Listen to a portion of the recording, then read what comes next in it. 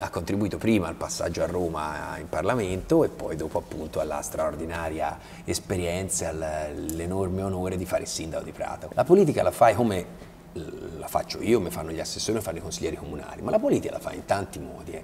Fare, avere un ruolo eh, in un'associazione di categoria è fare politica, avere, montare su un'ambulanza e diciamo, fare servizi volontariato è fare politica, ehm, allenare una squadra di bambini di calcio, basket, pallavolo, rugby è fare politica, nel senso è prendersi cura della tua comunità. Ognuno secondo me è un'esperienza che dovrebbe fare nella vita, perché è qualcosa che ti, ti rende molto di più di quello che tu dai in termini di tempo e di energie. Sono Gianmarco Barluzzi, in arte Giassa, e vi do il benvenuto a Podcast. Siamo a Prisma Lab e in questa rubrica vi parleremo delle eccellenze del territorio di Prato. Siete pronti a immergervi nelle storie di chi ogni giorno fa grande questa città? Allora allacciate le cinture, podcast sta per iniziare. Benvenuti alla prima puntata del podcast, il podcast di TAC in collaborazione con Prisma. Oggi siamo a Prisma Lab mm. per la primissima puntata Grazie. insieme al grazie. primo cittadino grazie di Prato. Dell'onore, grazie dell'onore, un fantastico, mi sento un privilegiato veramente. Eh, prima puntata, primo, primo cittadino, cittadino certo. ci sta. E come, come abbiamo già anticipato, questa serie di podcast avrà una tematica che inizia per ogni lettera della parola prisma. Ah, quindi, prima puntata, lettera P, ah. politica, prato, e quindi non potevi che esserci, che esserci ecco, tu. Quindi, grazie, mi fa molto piacere. Benvenuto. Beh, allora questo podcast ha come eh, ispirazione quella di ispirare i giovani cittadini che possono uscire dalle superiori, dall'università, aspiranti imprenditori, eh, che appunto vivono quotidianamente la città e il nostro territorio e quindi ognuno, ogni puntata una persona eh, del territorio eccellente può raccontare una tematica. Però ci piaceva fare anche un po' un racconto, capire, ma il sindaco, prima di fare il sindaco, mm. chi era, cosa faceva, come ci è arrivato? E come facevo? Facevo quello si faceva tutti, ho fatto l'università a Firenze, poi un anno a Bologna, eh, diciamo di specializzazione, mi sono divertito molto, è stato un anno divertente della mia vita. Eh, servizio civile, Prato e Comune di Prato. Prato? Eh, avevamo, sì, avevamo, avevamo, noi avevamo il il, diciamo, seguivamo ragazzi con disabilità, portavamo, io un andavo all'università con questa ragazza, abbiamo fatto gli esami, prepariamo gli esami insieme e tutto questo passaggio e poi davamo una mano all'allora classe eh, diciamo, di sostegno per ragazzi autistici, per me è stato quello un, bello, un bel trauma non banale, uno shock non banale.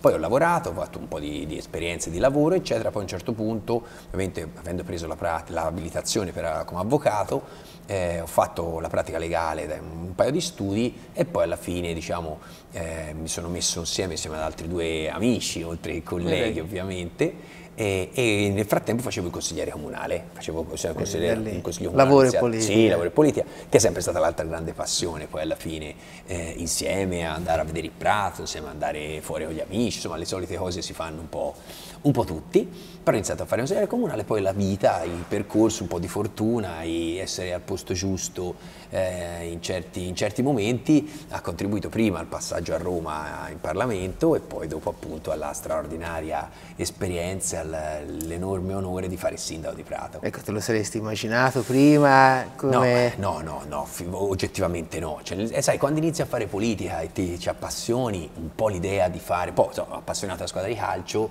dice faccio il capitano della mia squadra del cuore, no? Dice porca miseria, ma che magari non mi ha detto sì il Real Madrid o, o chissà che, però può essere, diciamo, ovviamente è quella che ti hai sempre tifato, lo stesso vale a grandi linee per fare il sindaco, uno magari un po' ci aspirerebbe anche, certo. gli piacerebbe anche però non è che ci eh, pensi un po' il sogno nel cassetto poi esatto. non sai mai invece, se si realizza ma io sono stato fortunato, eh, lo dico sempre quando la gente mi dice ma ora dopo che fai, che succede io ragazzi, intanto io ringrazio perché ho avuto un'esperienza pazzesca, sono stato in Parlamento a Roma, sono stato dieci anni il sindaco della mia città, eh, per me è già tanta roba, quindi vediamo quello che ci, che ci, riserva il futuro, adesso in questo momento, cioè, vediamo, però ecco, io già davvero ho fatto veramente Ecco, ma prima di iniziare avevi un modello di riferimento, anche quando eri giovane, quando eri un ragazzo, sei ancora giovane? Non ti redi, sì, beh, ero giovane, eh, ma non, no, un modello vero e proprio no, ammiravo delle persone, cioè nel senso è chiaro che come tutti noi eh, facciamo, abbiamo dei punti di riferimento anche in politica, dico. Certo. però poi alla fine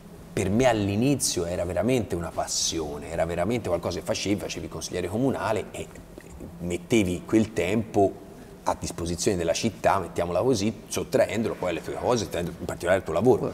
Però diciamo per me era un bel impegno perché mi piaceva farlo. Però non è che avevi quest'idea, ora voglio diventare Che Guevara, Berlinguer eh, o chissà che, ecco, lo facevi perché ti piaceva e perché io mi sono sempre divertito a parlare delle cose della, della città, ecco, questo... Ma hai questo avuto mai un personaggio, hai un personaggio a cui ti ispiri di più?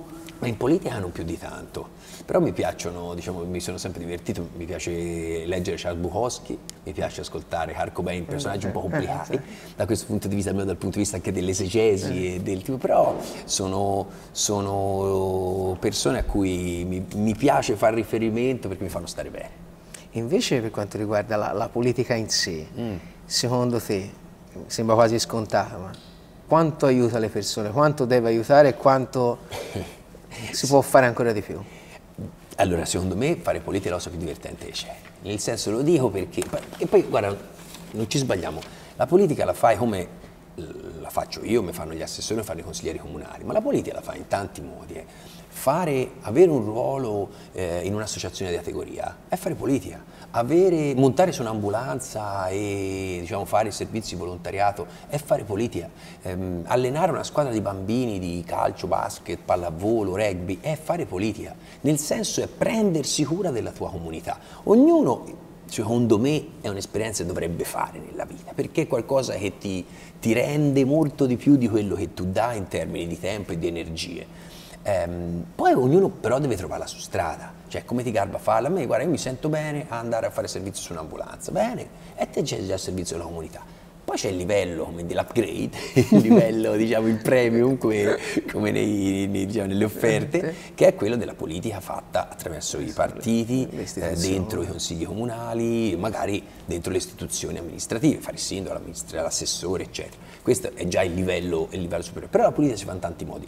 Quello che io mi sento di dire e che fai bene della, della comunità è mettere a disposizione un po' delle proprie energie per il contesto in cui vivi nelle mode, nei, nei modi nelle forme che ti trovi, trovi efficaci. Quanto serve? Tanto serve, se fatta bene serve tanto, se fatta con passione non risolve tutti i problemi, anche perché ogni tanto anche noi siamo esseri umani e quindi fallibili, mm, le si buttano di fuori, eh, non si risolve il problema, però diciamo se fatta con passione, cioè nell'interesse della comunità è fondamentale. E cosa ti aspetti per i prossimi dieci anni della politica invece? Che evoluzione può avere? Io, senti, non ci ho fatto tanto conto adesso. Um, dopo tutta questa adrenalina ho bisogno anche okay. di, dire, di, un attimo di stacco. Poi vediamo se la... Se la non ho un'ansia da poltrona, te lo dico molto onestamente. Eh, se la vita nel corso dei prossimi tempi mi riserverà qualcosa che mi piace, che mi affascina a me la politica piace, non è che lo nego, e quindi può darsi ci sia, cioè mi, mi, mi impegnerò anche su questo fronte, e se no faccio altre esperienze.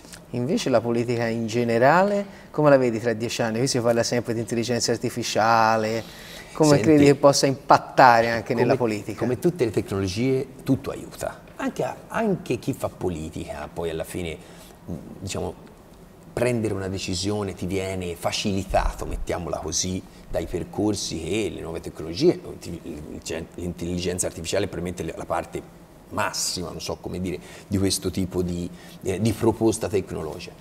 Però io penso che la politica alla fine la fanno sempre gli uomini, cioè gli esseri umani e quindi la decisione finale, come dire, il, il, il punto di caduta rispetto a delle trattative, eh, la scelta se mettere i soldi prima su un intervento che su un altro, quello la farà sempre test, la testa e il cuore di un essere umano. Non credo ci sia modalità differente, non, non ci può essere una sostituzione, sarebbe a quel punto, come dire, la gestione dei, dei tecnici completa, non può essere soprattutto in una città. La città la devi conoscere, devi sapere se c'è più bisogno a Vergaio piuttosto che a Maliseti, se c'è più bisogno su un campo sportivo o su un giardino. Questa è una cosa che solo l'essere umano sa. Invece ti chiedo, cosa consiglieresti se una persona si vuole, vuole, scendere in politica, vuole fare politica, Dio buono, bene. cosa gli consiglieresti di Ma fare? Consigliere... Come, come, potrebbe iniziare? Un giovane anche? Ma senti, io gli consiglierei, vabbè, ovviamente per quanto mi riguarda, devo frequentare un partito, prendersi una responsabilità, partendo da quelle che sono le cose magari più vicine a sé, che conosci meglio, il tuo quartiere, e inizi a fare un percorso ehm, anche all'interno diciamo, delle, de, de, de, dei circoli del partito, prendendoti cura dei pezzettini delle cose da fare che ci sono nel tuo quartiere poi da lì vedi di crescere, inizi a occuparti di tutto il raggio della città, ti dai da fare, ti impegni, magari anche sotto, con associazioni di volontariato, come ho iniziato io, ti puoi fare carico di come dire, battaglie che ti fanno stare bene dal punto di vista proprio tuo personale, contro la pena di morte nel mondo, piuttosto che eh, dentro le grandi associazioni ambientaliste, questo, anche questo uno trova un Aiuto. po'. E poi da lì decidi di fare un percorso di crescita, appunto, magari candidandoti in un partito, in un consiglio comunale, eccetera, eccetera. Questo io mi sento, mi sento molto, come dire, tranquillo nel consigliarlo perché se scatta la scintilla è un amore che non si spenge più. Invece, visto che te hai dato un consiglio a dei giovani aspiranti politici, ma invece avessi la macchina del tempo, potessi tornare a, a dare un consiglio al Matteo Biffoni di 10-15 anni fa, eh, gli guarda, diresti? Di, diciamo, rispetto a, a, a quello di 10-15 anni fa, direi di essere meno istintivo e di, come dire, riuscire a metabolizzare tutto quello che ti arriva, comprese le critiche, comprese le offese, comprese i complimenti, comprese in maniera molto più razionale e più, meno enfatica di come facevo 10 o 15 anni fa, per cui tutto era da, dalle stelle alle stalle in un minuto o comunque vada anche una piccola nube diventava un temporale o un piccolo raggio di sole diventava oh, l'apoteosi. Ecco, quello gli direi attenzione, sii più, come dire, eh, equilibrato, fai un percorso di valutazione senza farsi abbattere troppo da, dai, dire, dai, dai, punti deboli e senza saltarti troppo nei momenti di, di, dire, di effettivamente di grandi complimenti. Trova un punto equilibrio. Questo io l'ho imparato nel corso del tempo a gestirla meglio, l'emozione, mettiamola così. Bene, siamo all'ultima domanda.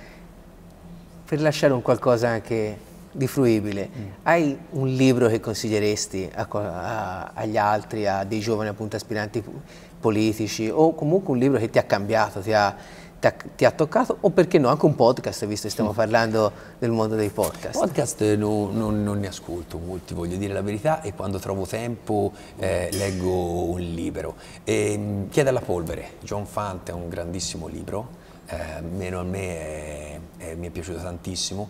Tutta la biografia, tutto quello che ha scritto Charles Bukowski, lo dicevamo prima, e, e anche diciamo, almeno i primi tre o quattro libri di Roddy Doyle sono veramente divertenti. Eh, la, per me tutta la contemporanea anglosassone è una, grande, una grandissima fonte di ispirazione, Irving Welsh, John King, insomma tutta roba che io leggo molto volentieri quando ho tempo. Quando, quando ci vuole. Bene. Tempo. Grazie mille per aver fatto grazie parte della prima puntata. È stato un grande piacere e un grande onore. E grazie ancora, ci vediamo nella prossima puntata. A presto e alla prossima. Ciao. Podcast, il podcast di TAC. Questa puntata, in collaborazione con la Casa delle Tecnologie Emergenti Prisma, è stata ideata da Gianmarco Barluzzi in collaborazione con Filippo Belli. Riprese regia audio-video di Lorenzo Guasti. Registrato presso Prisma Lab si ringrazia il Comune di Prato per l'ospitalità e la collaborazione. Ascolta podcast sulla tua piattaforma di ascolto preferita. Segui tutte le novità su podcast.it e sui nostri social.